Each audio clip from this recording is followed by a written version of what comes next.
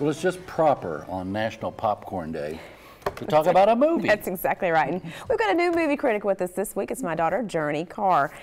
Hi. Thanks for being here. Thanks. I'm Whitney's daughter by day, movie critic by night. Ah, very good. I Which, which is the better gig?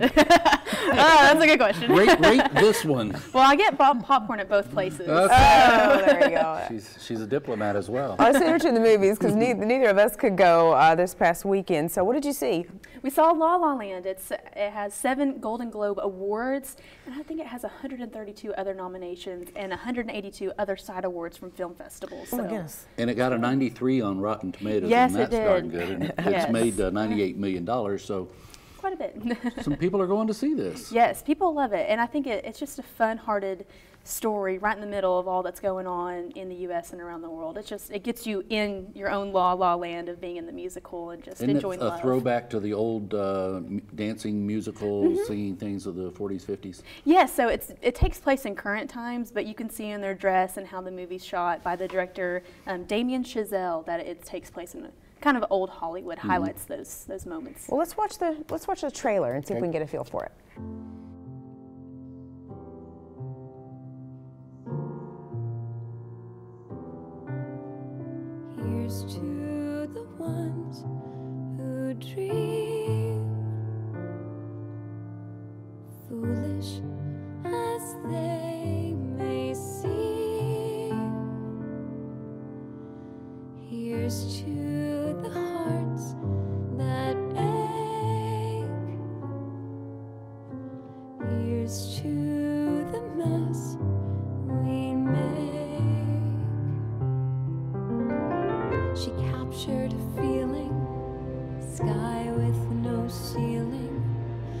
The